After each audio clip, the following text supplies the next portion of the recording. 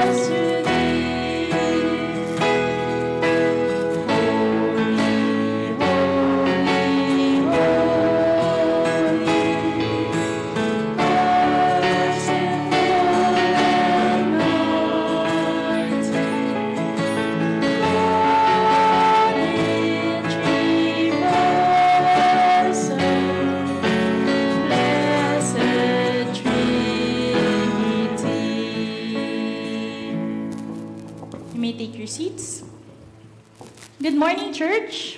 Morning. So, every February, since I got sick, I made it a practice to do a routine lab test. Sometimes I would do it on my birthday itself. I don't know why, but I tend to do that.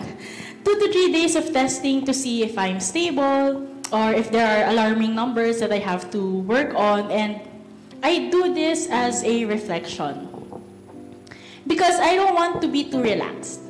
I know I am okay physically, outwardly, but I don't want to take for granted this phase of not having side effects or symptoms. And I also just want to acknowledge how far God has sustained me. So every Feb, whenever my birthday is approaching, I would always get this feeling of regrets, of what ifs, um, but I also get more of the overwhelming feeling of thank God it was me. Thank God I got through the hard part early on. I was 24, so I had more chances of overcoming all those things. And thank God that I needed to be sick to to see and know a different side of him personally. And now I always hold on to a hope that He will get me through no matter what. He has strengthened my faith because we got through it together. He made sure I knew He was my strength. And through the hills and the valleys of this illness, I know that He was there all along in the background. And I pray this morning that you don't have to go through the same thing that I had to go through just to get to know Him deeper. While you're still in on your good days, while you're still healthy, you're still happy, get to know Him deeper. Intentionally want to yearn for, thirst for Him.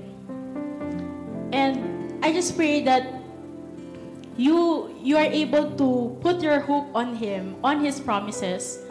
Collect all of this now so that when you go through your hills and valleys, you will also know who your living hope is, how how your relationship with God is, and how who He is in every season of your life.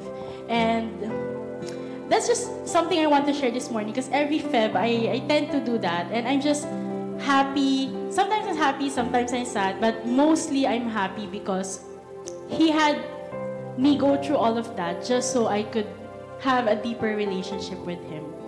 So let us sing our first song.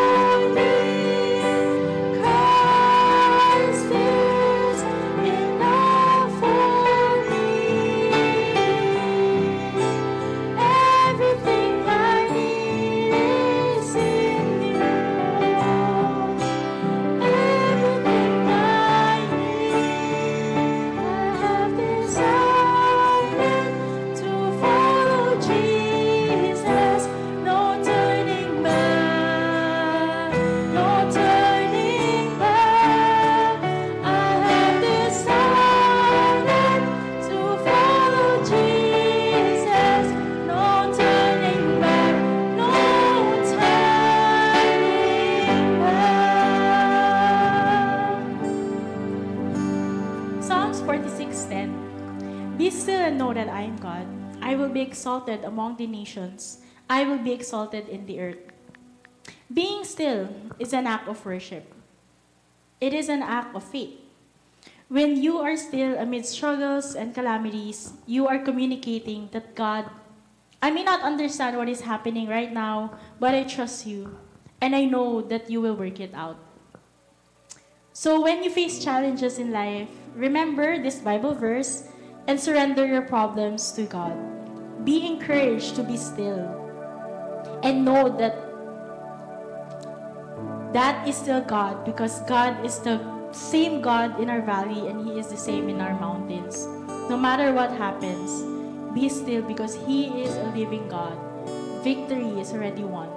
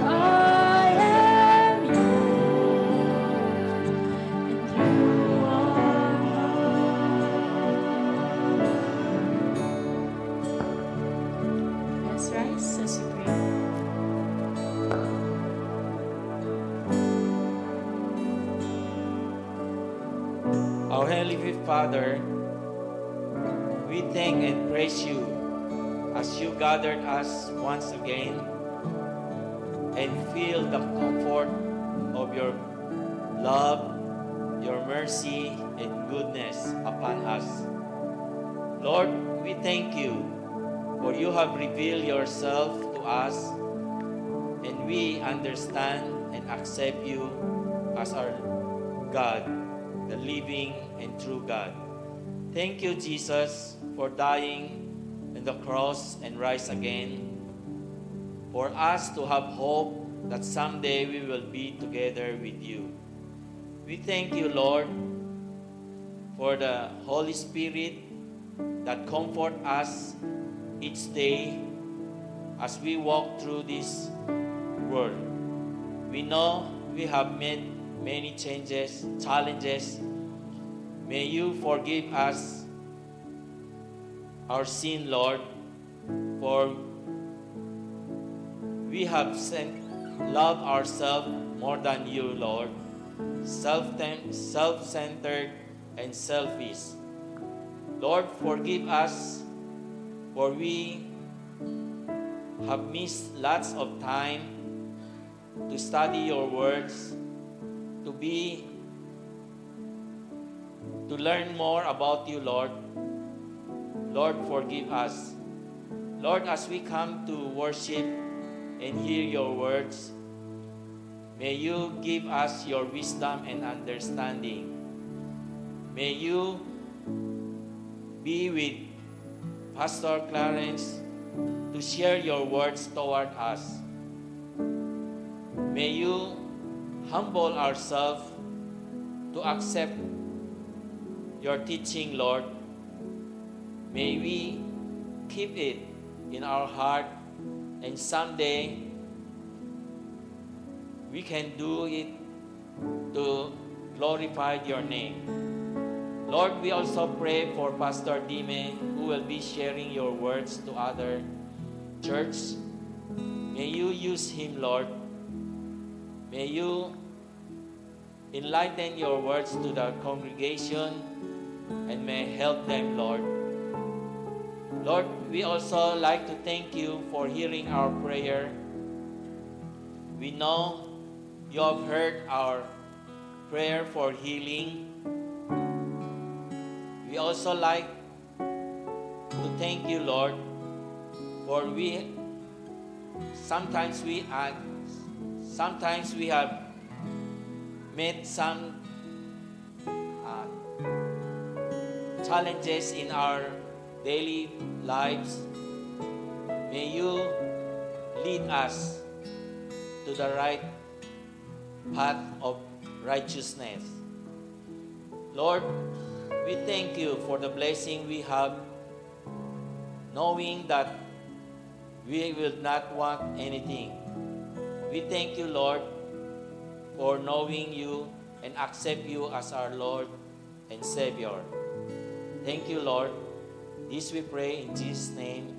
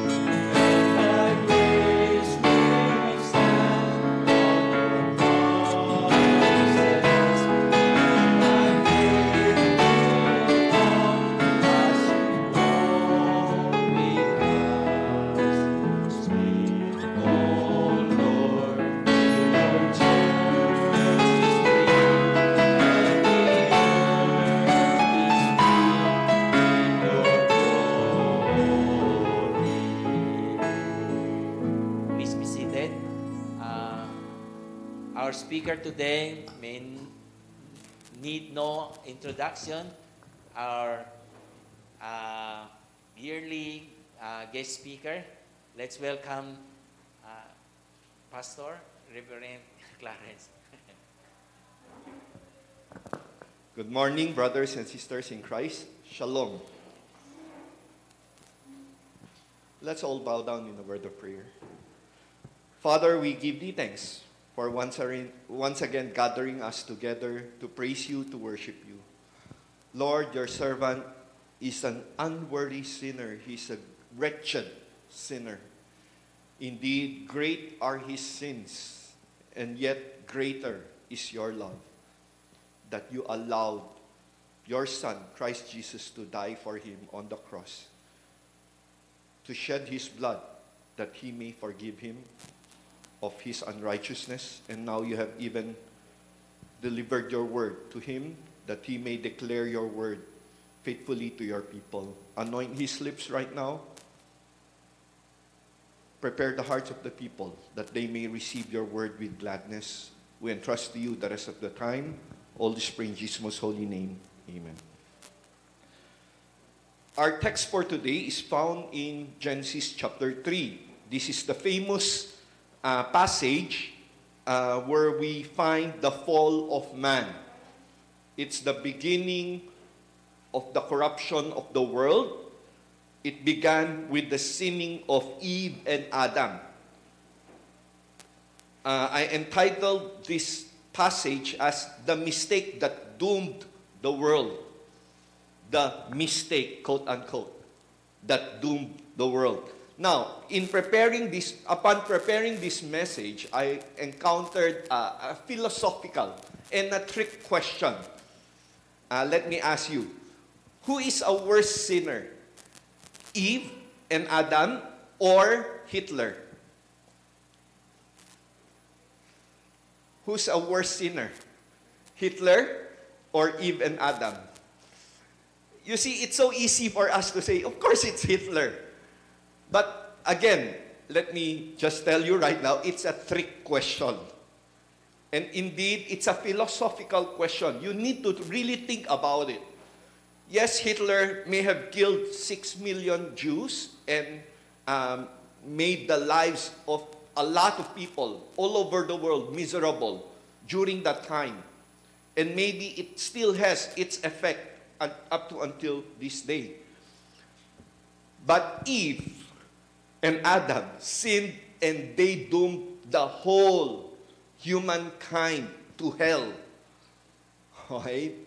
Their sin brought in corruption, not just to humankind, but to the rest of this physical world.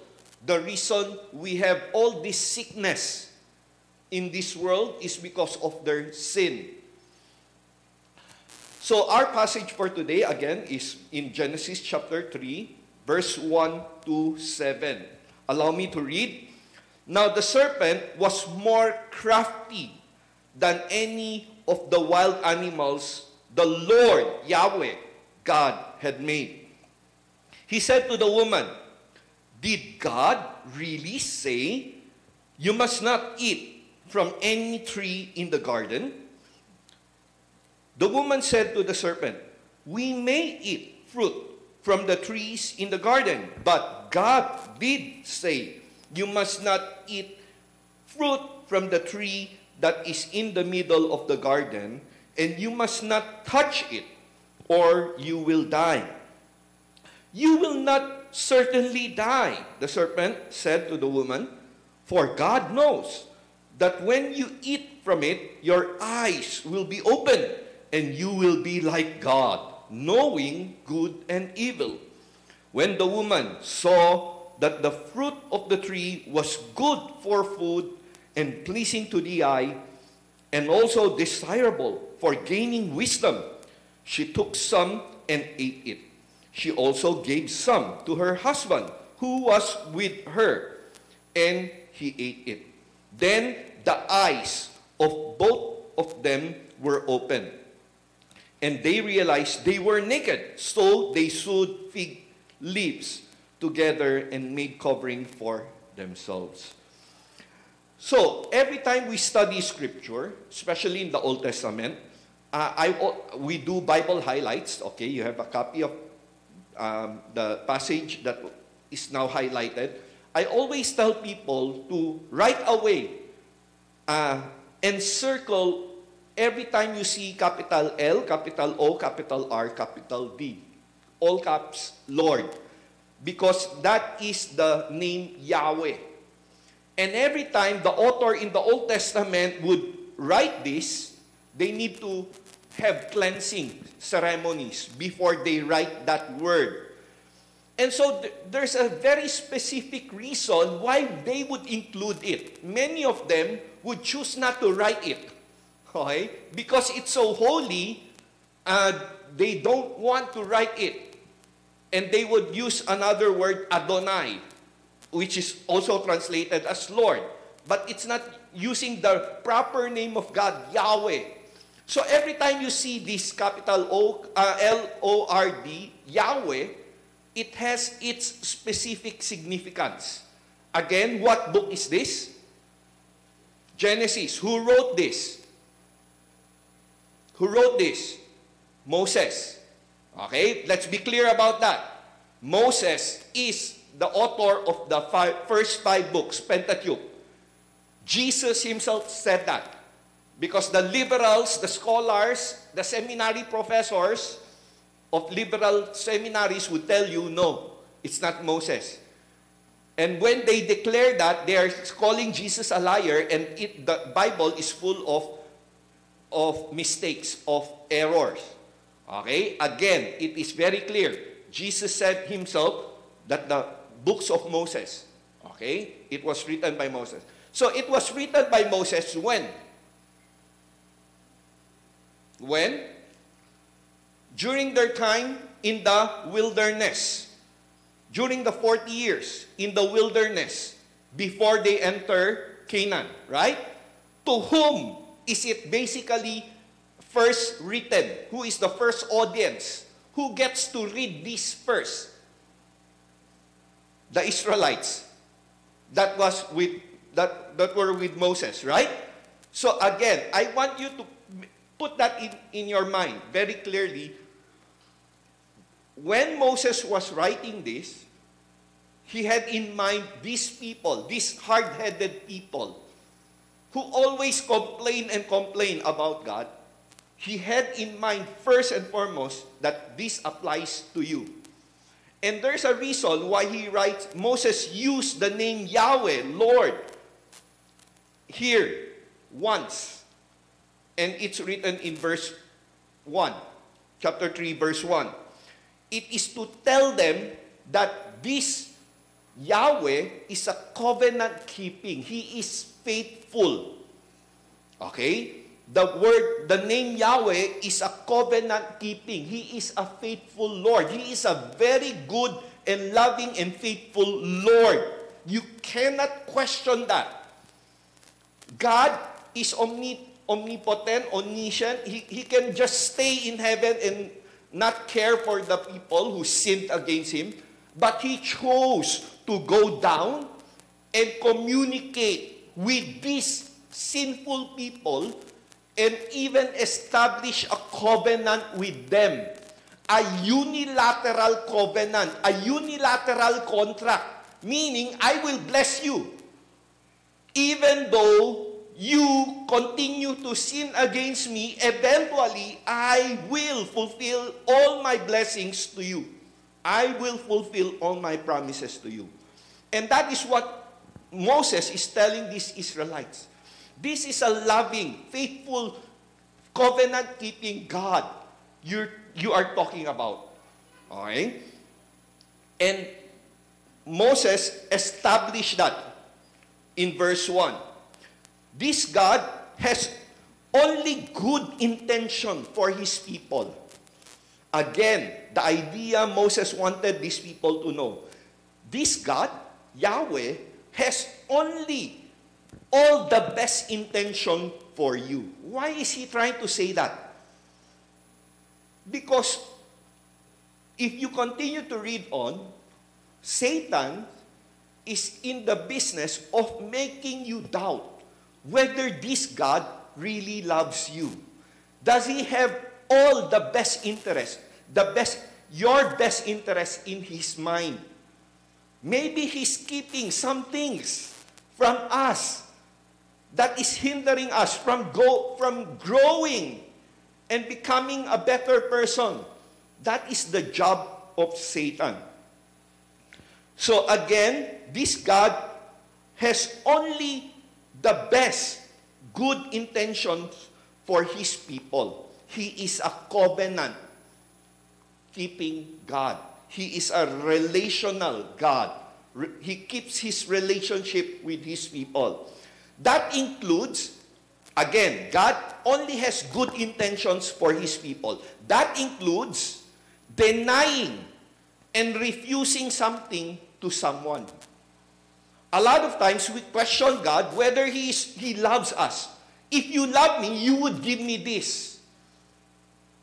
And God doesn't give it to us. And we question whether this God is really good. Again, God knows what is best for us. And sometimes the best thing is to withhold things from us because He knows that whenever I give you these things, it would actually harm you, though you think it is what you need. Of course, everyone in the whole world would ask for money. Many, many, many billions of money, right? But we've seen money destroy the lives of people, right? Again, God has His reason why He doesn't always answer our prayers the way we want it to be answered. He withholds some things. He denies us. He refuses us something that would actually harm us. And again, it is with best intention. He has our best in uh, he has uh, our best interest in mind. Again, these are Israelites brought out of Egypt. Okay? God told Moses, "Bring my people out of Egypt." And so they Moses led them out into the wilderness to enter Canaan, and God promised them from the onset, from the start, I will bring you to a land flowing with milk and honey. Now, who wants to go to Israel? I love to go. I, I haven't been to Israel. I love to go to Israel. Just imagine their scientific advancement. Desert, and yet they grow crops as big as, as possible, right? They are able to, they have good scientific minds. They have, basically, you tend to question, how can this be? It's full, it's a land full of miracles. Why? God, from the onset, said, I'm bringing you to a land flowing with milk and honey. And they look at the land and say, What? It's a desert. In fact, for many centuries, uh, AD, no one wants it, right? Until the Israelites returned and developed the land. Again, you look at the land, it's dry, and yet God said, it's a land flowing with milk and honey. Why? Basically, because God is the one who's going to bless it. So again, God from the onset, even before they set one foot out of Egypt, already told them, I'm bringing you to a land. I'm giving you a beautiful land. I will be there with you. I will bless you. Did they hold on to that promise? You see, since day one, they already complained. And to the point that they said, we'd rather go back to Egypt. We don't believe this God.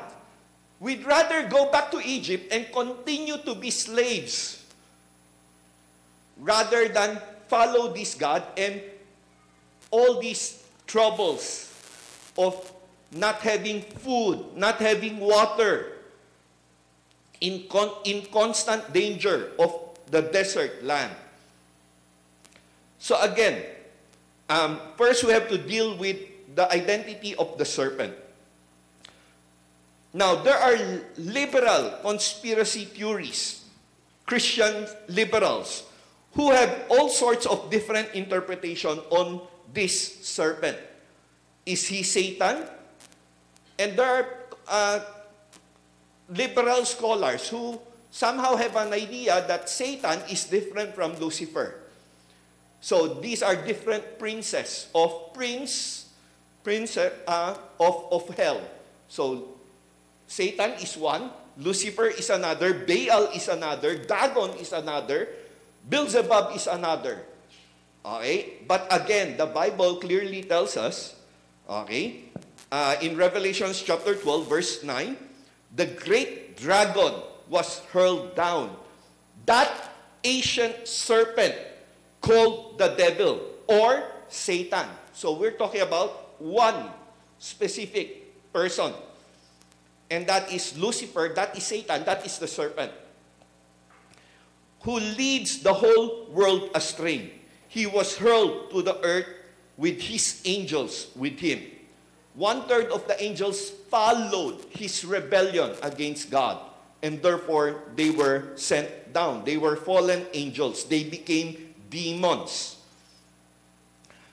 Some believe, again, the, the different lords of hell, which is Satan, Lucifer, Baal, Devil, Beelzebub, and all sorts.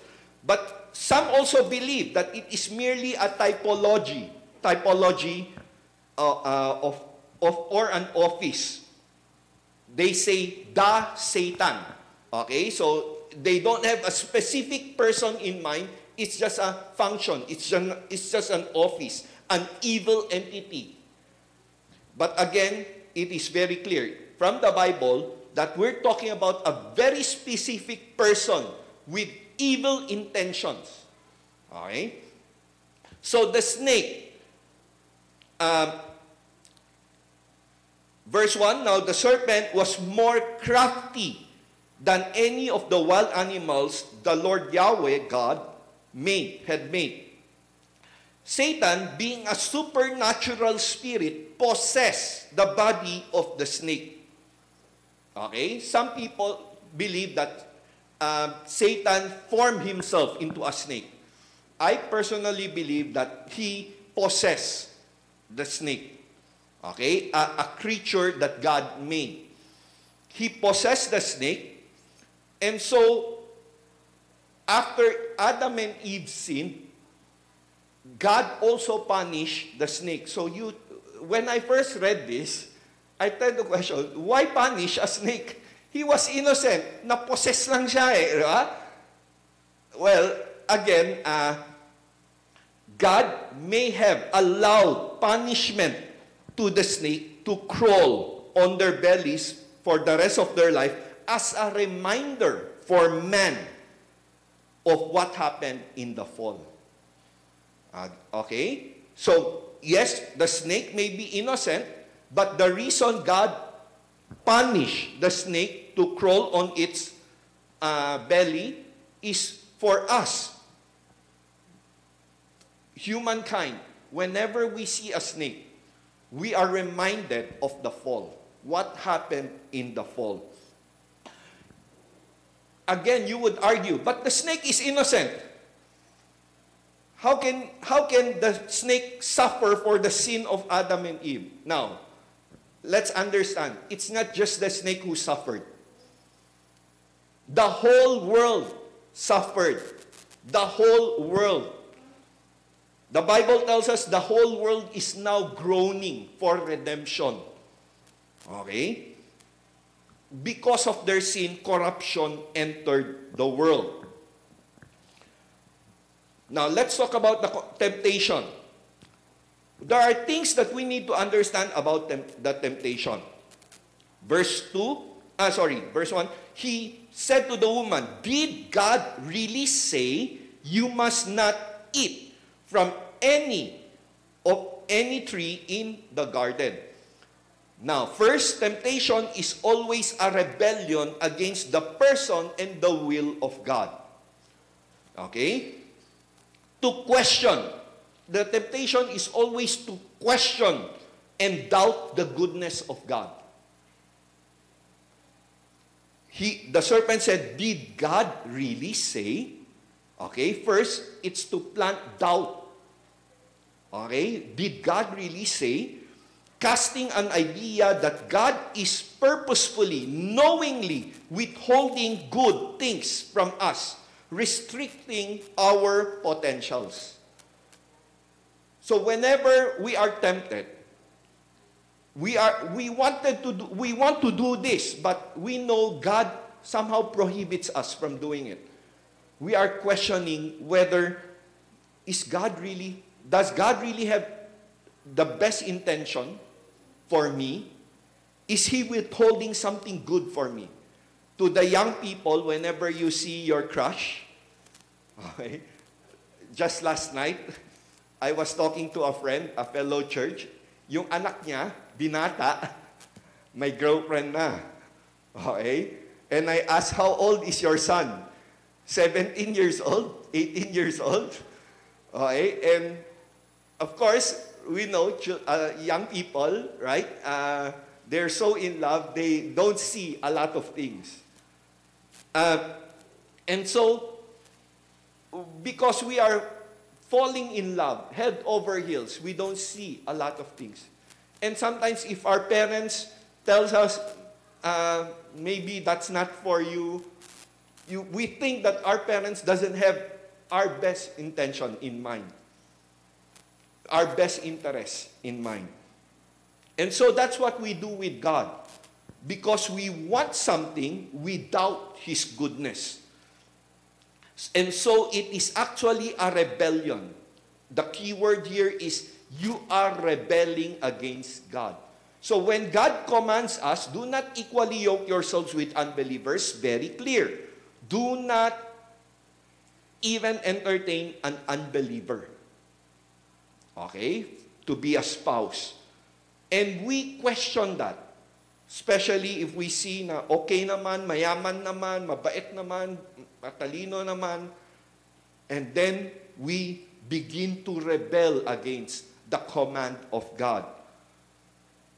Second, temptation is all uh, temptation always includes truth, but it is twisted and lies are added to that truth. Again, temptation always includes truth. In fact, I would argue temptation is always 90% truth or 99% truth and 10 or 1% lies. Satan described here as a crafty and deceitful. Okay? He knows how to craft his words carefully so that it would just pass by you and you didn't notice what is the what is the wrong thing in he in what he said. These are half truths. My friends, 0.001% lie. So that means 99.999% truth is still a lie. The serpent said, Did God really say, You must not eat from the tree, from any tree in the garden? Question Did God really, did God command that you must not the fruit from a tree in the garden? Yes, right? What's the one word? What, what's, the, what's wrong with what he said? Any. So how many words were is that? One, two, three, four, five, six, seven, eight, nine, ten. Out of ten words, you must not eat from any tree in the garden. What's the only wrong word here is any. One word out of ten words. So nine words were true. One word is wrong. Any.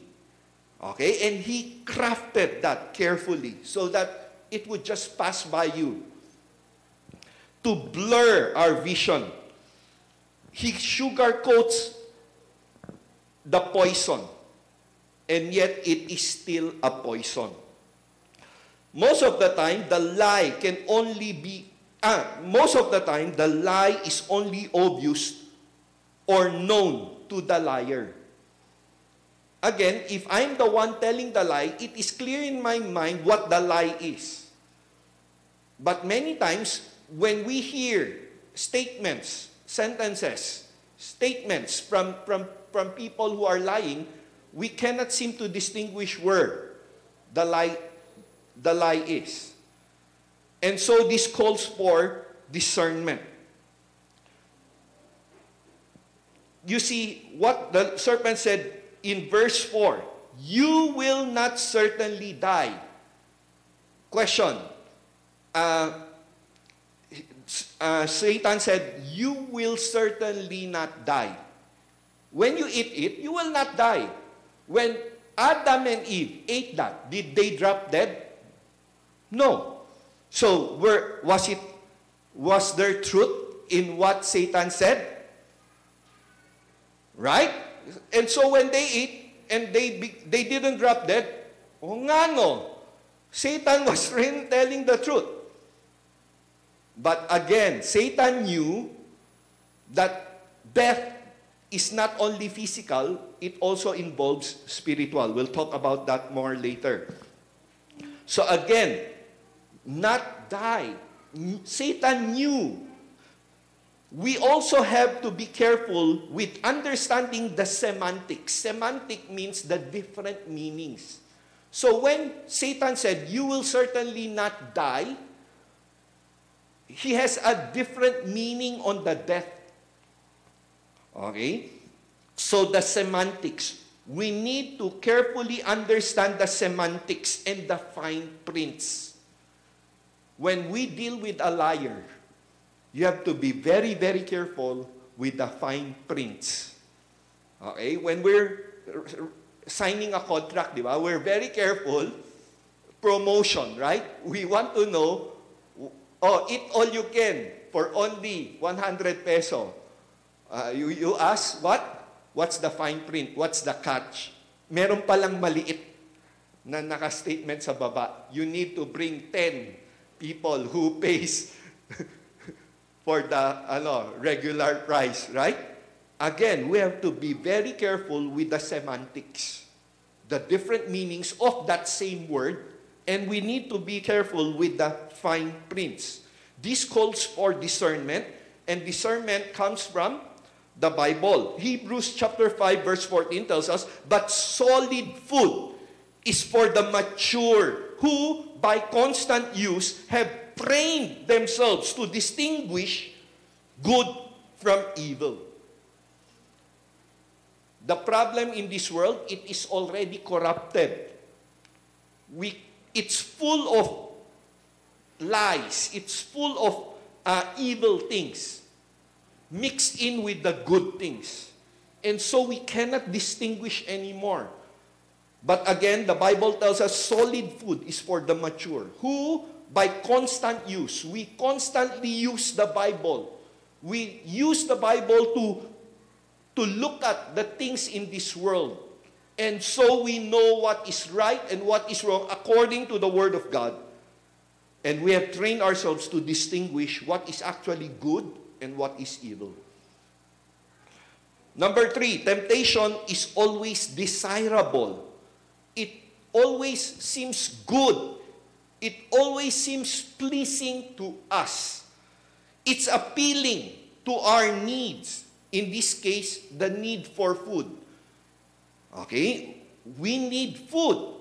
And our desire, it, uh, it talks about the, the eyes and our improvement, wisdom. Verse uh, 6 When the woman saw that the fruit of the tree was good for food, okay, our needs, pleasing to the eye, our desires, and also desiring, desirable for gaining wisdom, improvements. Okay, again, is God withholding something from us that would further improve us?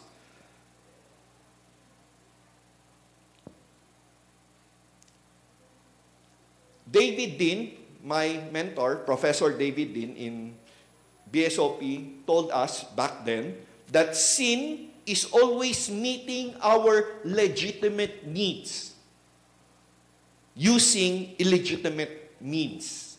Again, it's legitimate needs. We, as human beings, we have legitimate needs. We, we, we want to be loved. You have the need to be loved, right? But how do we go about gaining that need for love? Do we go in an adulterous relationship that is meeting the need, legitimate needs, in a illegitimate way? And that is how we sin. Again, there's always truth in that. When you deal with a sinning person, we, when you deal with anybody, they would reason with you, eh may kailangan ako eh.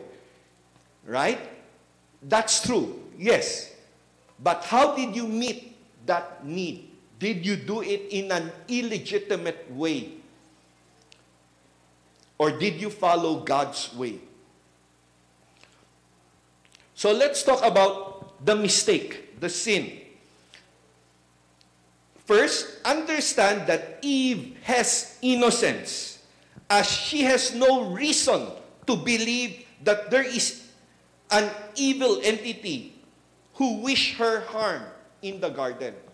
Again, they were innocent during that time. They were perfect. And the world is not corrupted.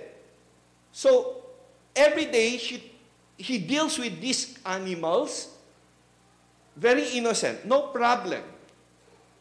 So, he has, she has no idea that there is an evil entity in the garden right now who wishes her harm.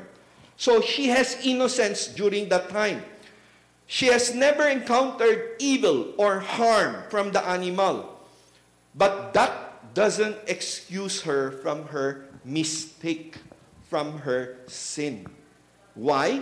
Because God clearly told her what she was not supposed to do. Man has always a tendency to blame our sin to Satan. Okay? Uh, Satan, again, we have a tendency to blame everything to Satan. Kasi si Satan. We sin because of Satan. We sin because of Satan. But understand that Satan is but a finite being. He is not like God, omnipresent. Okay? He is not present everywhere. Satan can move very fast, but he cannot be here in the Philippines and in, in, in Hong Kong right now. Okay? In the same time. So, if I'm being tempted by Satan right now, my friend who is in Hong Kong is tempted not by Satan, but by one of his demons. Or, uh, but again, we all, we're always too quick to put the blame on Satan and his armies, his demons. Understand that they are finite beings. Though I believe Satan and his demons has established and scattered their machineries, their influence in our environment throughout the ages. So in the Philippines, we are living in a very, very corrupt nation. Satan, I believe, has his time in the Philippines. I don't know when, in the past. He has somehow put his machineries everywhere such that it would all he needs to do is to press and the machine just works. And he can leave. And it's influencing people our politicians our uh, our people common people. But the bible reveals that sin is first our responsibility. Yes we are living in a corrupt nation. You could always put the blame on the corrupt policemen, on the corrupt system. Gusto kong magpakatino, and yet this policeman wouldn't allow me. This system wouldn't allow me. But the Bible reveals to us that sin is first and foremost our responsibility. And thus, we are accountable. James chapter 1 verse 14, But each one is tempted when by his own desire, not by Satan. The Bible is clear to point out that we sin because, first and foremost, by our own evil desire, we are dragged away and enticed. Then, after desire has conceived, it gives birth to sin. And sin, when it is full grown, it gives birth to death. Okay? Again, stop blaming Satan and his demons. Stop blaming people. Accept the responsibility that we have sinned against God. It's that simple. Our sin or our mistake may seem circumstantial. We may see ourselves many times as victims, but we must still face the simple fact that we didn't do as God commanded. Many times driving in the streets of Manila, okay, we get into accident, right? Maybe it's because you didn't follow the traffic rule, okay? And then you get into an accident, and then only to find out the person you had an accident with is under number coding. He was not supposed to be on the road. Okay? Now, you beat the red light and you met an accident and you found out that that person, first, he doesn't have a driver's license. Second, he was under the coding system, so he's not supposed to be in the road that time. And so it's so easy for us again to blame. Hindi ka pwede dito, di ba? You are not supposed to be out. Why are you? Kung wala ka lang dyan, di walang accident, wala kang lisensya, right? You don't have a license. So why are you driving? Kung hindi ka nag-drive, di walang accident. But then again, we don't want to face the idea that we beat the red line.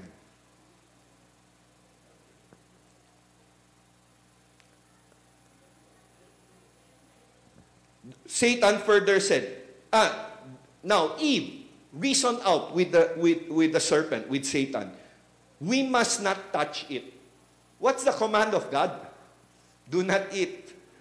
But Eve further added to that command. Okay? Now, this may be an added part, not included in what God commanded, maybe by Adam. Adam must have added this to further protect Eve. When Adam was telling Eve, this is what God commanded us, not to eat from the tree. In fact, don't even go near it. Don't even touch it. To further put a barrier from the tree and Eve so that Eve would not fall into that sin. Second, Eve and Adam's sin may have been small and simple, but it doomed the whole human race, the whole creation. Romans chapter 3, verse 23 For all have sinned and fall short of the glory of God.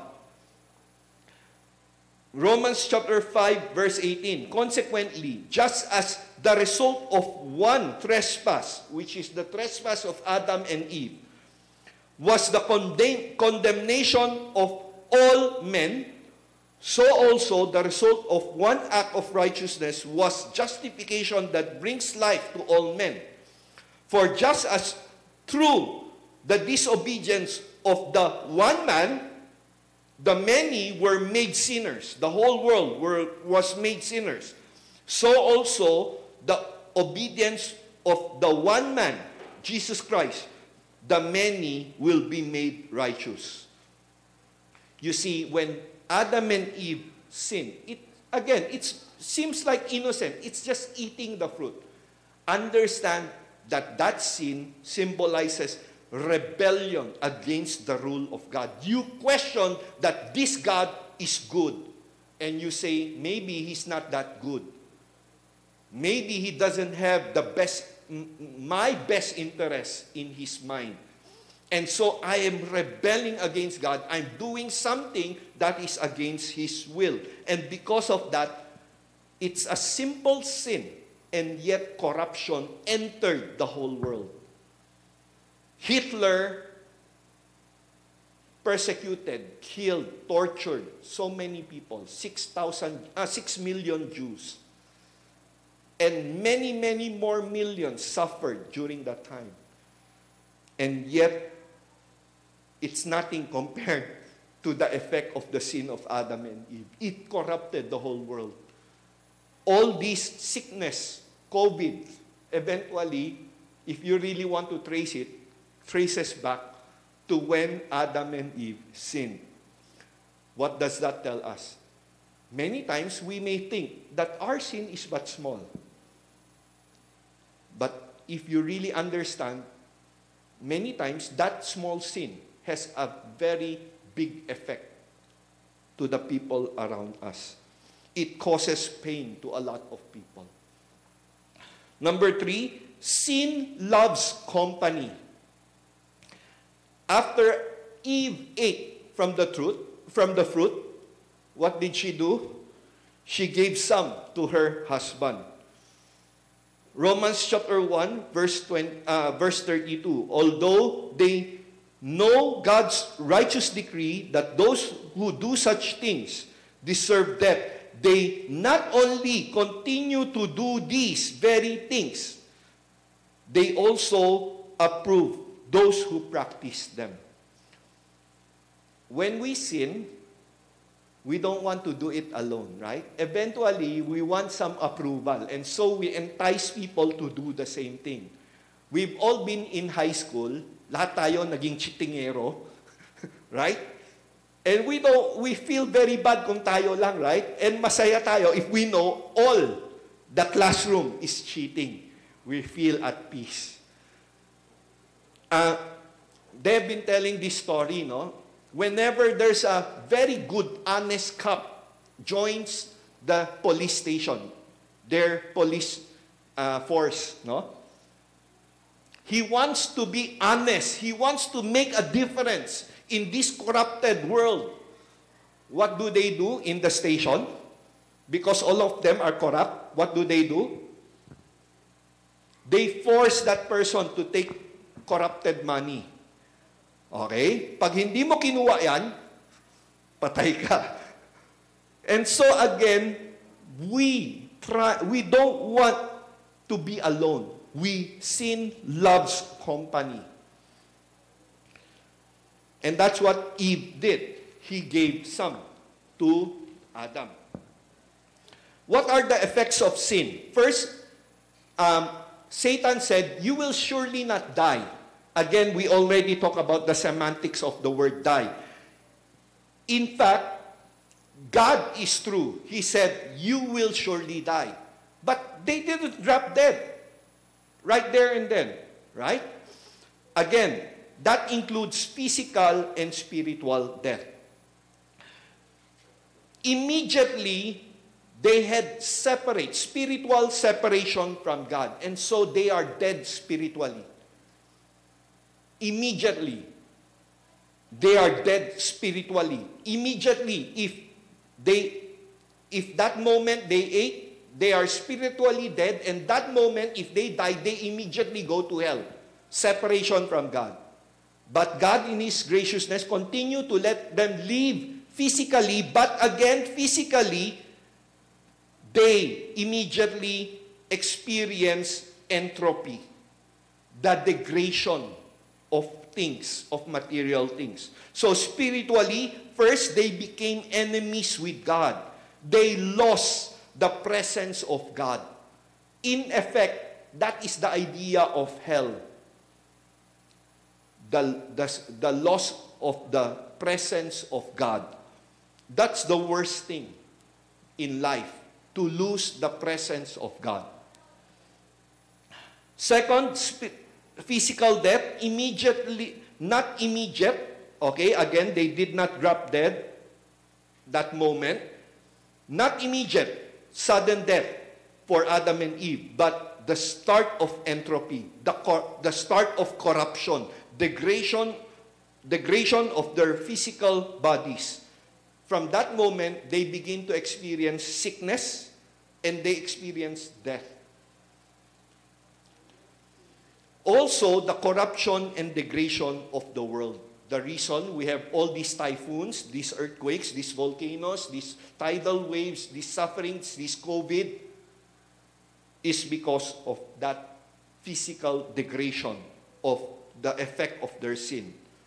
Second, what is the effect of sin? They have now become like God, knowing good and evil. Now, this is a very um, controversial um, idea. What does it mean that Adam and Eve suddenly is like God, knowing good and evil? Question, question. Adam and Eve, before they sinned, they were perfect, right? Do they know what is good and evil? Do they know what is good and evil? I believe they do. Okay? When Satan was tempting Eve, nagdebate pa sila, di ba? No. God said this, we cannot do this or we will surely die. So Eve knew that dying is something bad, wrong, right? Eating that fruit is wrong. So he knew, she knew what is good and what is evil. She knew, she knows how to defend it. So what does it mean when it says man has now become uh, knowing good from evil, good and evil? Again, Eve debated with Satan that eating the fruit was wrong and carries the consequences of death. So she knew what is good and evil. The idea of knowing good and evil here is that the, to be able to determine what is good and what is evil.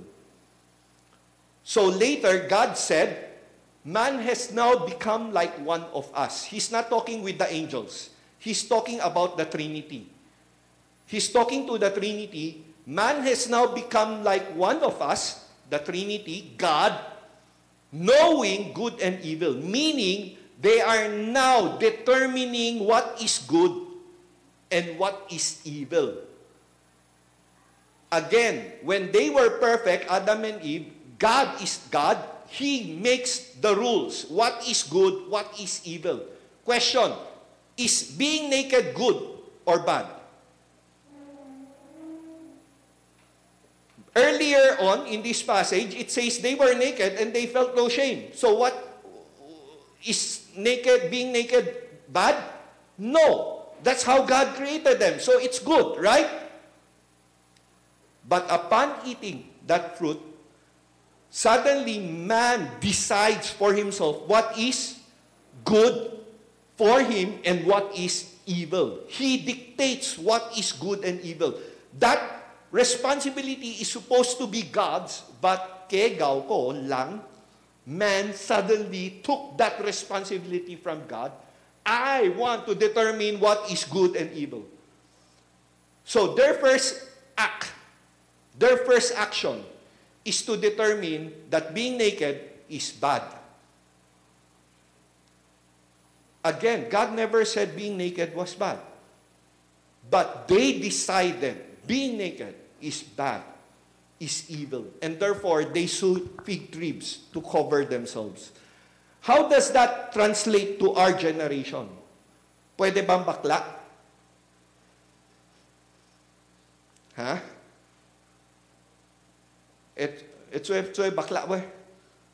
Can we be homosexuals? Again, man takes that and said, pwede. We determine what is good and what is evil. So, pwedeng ikasal ang lalaki sa lalaki. Why? Because it's celebrating love. They call it good. That's why the Bible warns us. Be careful when people begin to say, uh, evil is good and good is evil.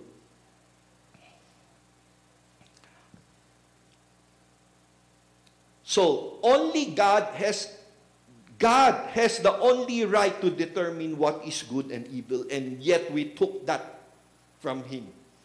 We wanted to be like God, to have that power to determine what is good and evil. Now, I want us to look at ourselves and see Adam and Eve in us. All in our all throughout in our lives, we live a sinful life. We wanted to determine what is good for us and what is evil. It is only when we encounter the truth of God that we begin to realize we should follow what God said as good and what is evil and not according to our ways. And so, application, each one of us is guilty of this. We wanted to be the God of our lives, and we determine what is good and what is evil according to what is beneficial for us right now. Application, this is one of the greatest thing we need to surrender back to God. Lord, I will not choose my own path. I will not determine for myself what is good for me and what is evil. I want you to tell me what is good and evil. Again, we see that in Ge- Ge- Genesis chapter 3, verse 22. And the Lord Yahweh God said, The man has now become like one of us, talking to the Trinity, knowing good and evil. Man usurped this authority, this responsibility of determining what is good and evil. Question.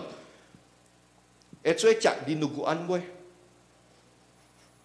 Sabi, good for food kasi. He saw the fruit. It was good for food. Eh, can we eat dinuguan? Ha? I love dinuguan. Eh, David din kay Gaw, he shared the word of God to us and proved to us that the prohibition of eating blood was during the time of Noah and not during the time of Israel. And so it's en- all-encompassing for the whole world. It's not talking about ceremonial rules, ceremonial uncleanness. So you cannot use the, the axe principle of lowering of the shit of animals and eat everything. You cannot do that because the command was given to Noah before all these prohibitions. Buhat ang tsa dinuguan.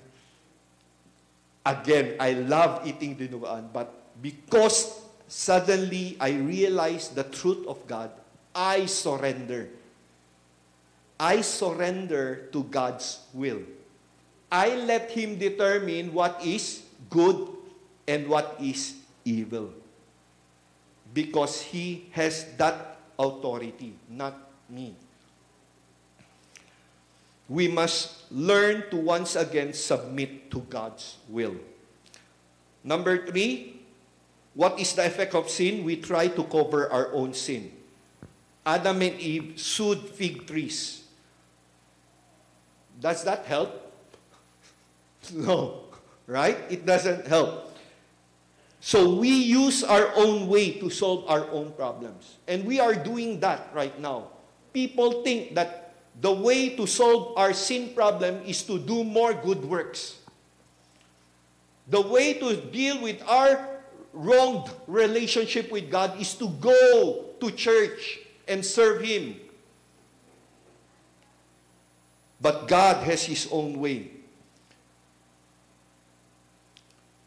Now, before that, imagine one small simple sin is the cause, it's the spark of all suffering, all the suffering, extra pain, hardship, sickness in all history everywhere. What a disaster for everything to end here. But thank God it did not end there. God chose to love us, and therefore God triumphed over our sin. God could have burned everything up and start all over again. But thank God He loved us. And immediately, immediately, He showed His love to Adam and Eve. Genesis chapter 3, verse 21 The Lord Yahweh, God, made garments of skin. Garments of skin. Adam and Eve chose to solve their problem by sewing fig, fig leaves, right? But God immediately made garments of skin for Adam and his wife and clothed them. Saan galing yung skin? Animal. It's foreshadowing an animal life that is killed for the skin. It's foreshadowing a substitutionary death over to cover our nakedness.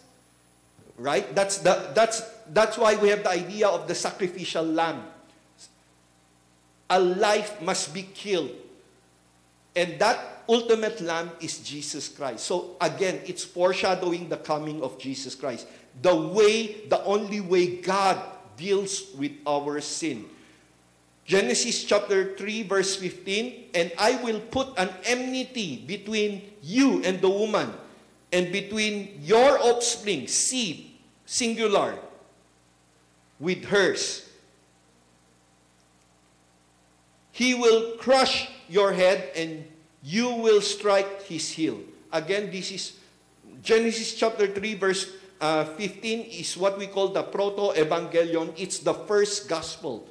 It's the first hinting that God has a plan to save us. He said, the seed of the woman, singular. It's not talking about Abel and Cain and Seth. No. It's talking about future, one person, singular, seed of Eve. And that is Jesus Christ, who will save us from our sins. Romans chapter 5, verse 8 and 9 and 10. But God demonstrated his own love for us in this. While we were yet sinners, Christ died for us. And since we now have been justified by his blood, how much more shall we be saved from God's wrath through him? For if when we were God's enemies, we were reconciled to him through the death of his son, how much more having been reconciled shall we be saved through his life? 2 Corinthians chapter 5 verse 21, God made him, Jesus Christ, who had no sin. He was perfect. He made Jesus Christ to be sin for us so that in him, in Christ, we might become the righteousness of God. So as a conclusion, a while ago I started with asking, who is the worst sinner, Eve or Hitler? Again, it's a trick question. We do not need to answer that question. okay? But one thing we need to answer, am I a sin? Am I a sinner? And do not ever think that your sin your sins are but small and innocent. You're a victim. Again, understand our sin in the way we understand the effect of the sin of Adam and Eve. It affected the whole generation, the whole world. Our sin, our sins, is not small and innocent. It's affecting people. It's affecting the whole world to the point that God needed to send His Son, Jesus Christ, to die for us. Who is the worst sinner? It's not Eve. It's not Hitler. Again, it's useless to debate on this. Why? Because Paul already said he is the worst sinner. What? Paul, the Apostle Paul, is a worse sinner than Hitler? Let's follow the footstep of Paul and said, No, no, I am the worst sinner. If you really understand the seriousness of our sin, you would follow the footstep of Paul and said, I am the worst of sinner. Not Hitler, not Eve. I don't want to put the blame on anyone else. I am the worst sinner. That is why I need Jesus Christ to die for me. Greater is our sin. Ah, great is our sin. Great. But greater is the love of God. Greater is the forgiveness of God. That He sent us, His Son, Jesus Christ, to die for us and to save us from our sin. Won't you now celebrate with me the love of God? That though great is our sin, greater is His love and forgiveness in Christ Jesus. Let's pray. Gracious Heavenly Father, we give thee thanks that through your word you reminded us the seriousness of our sins. that it has far-reaching effect. Help us not to look at it as a simple sin and that we are just victim of circumstances, but help us take that responsibility and to act on it. First, by believing in your Son, Christ Jesus, who have died for our sins and forgiven us of all our unrighteousness. Help us to correct the wrong things we have done and to begin to live our lives according to your will. Help us to surrender that authority, that responsibility to you of determining what is good and evil in our lives. We give thee thanks, all this spring, Jesus' holy name. Amen.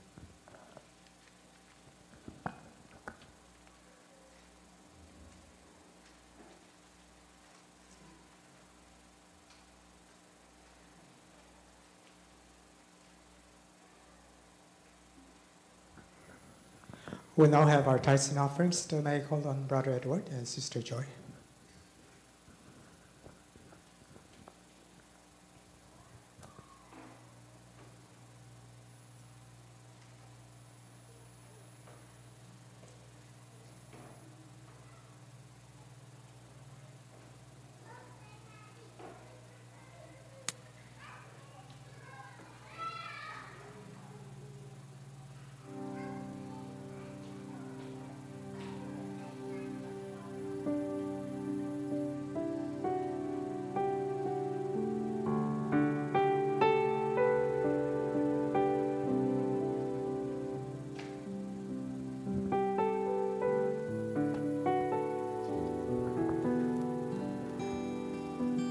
Us pray.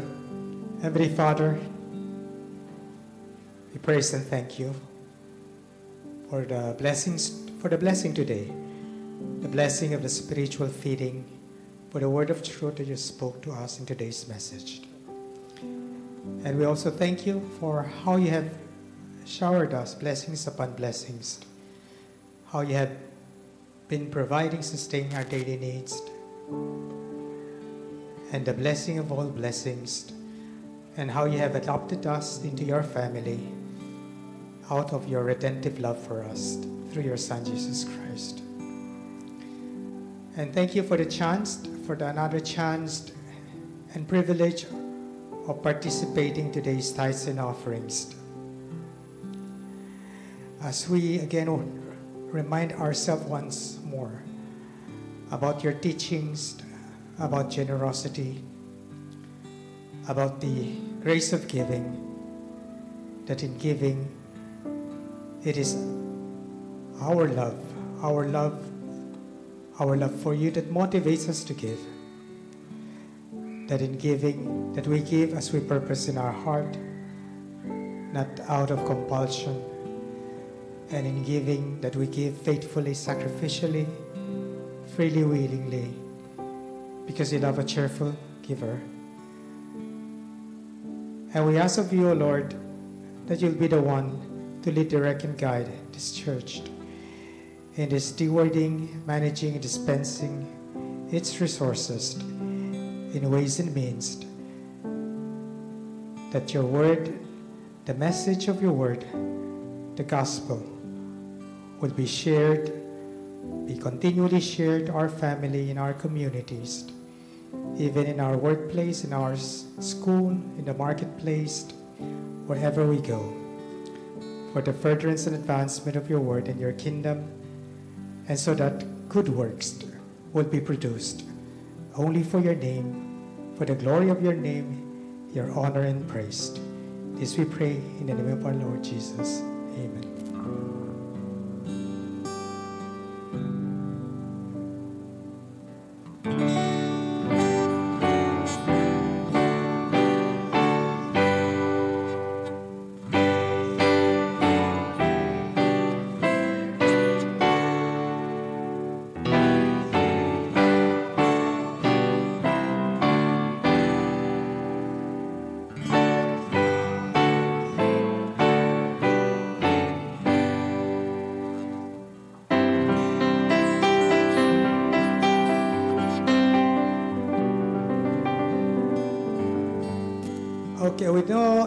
Specific announcement make, we'll just acknowledge, okay, so we have new faces around, so let's acknowledge the presence of, uh, here at the back, okay, on this side, so we have, I think I was told that her name is Kathy, yeah, Kathy, okay.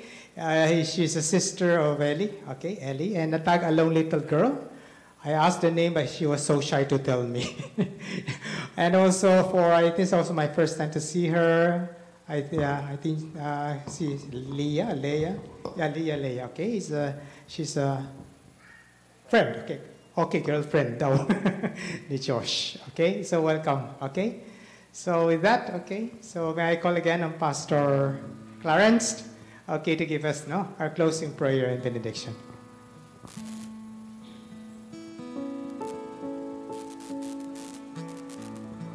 Shall we all stand and receive God's blessing?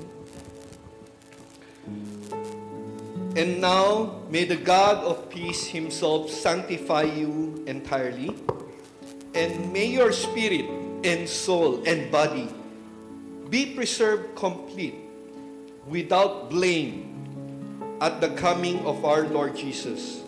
For faithful is he who calls on you, and he will bring it to pass. And now may the grace of our Lord Jesus Christ be with you all until the day of his coming. Amen.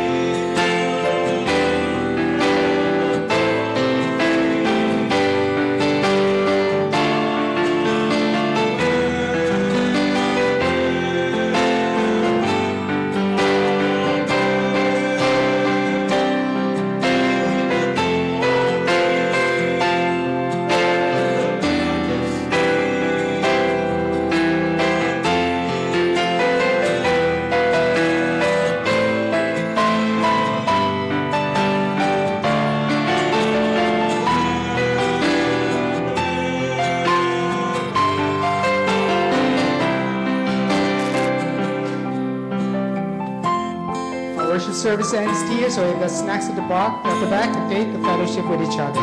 Have a blessed weekend.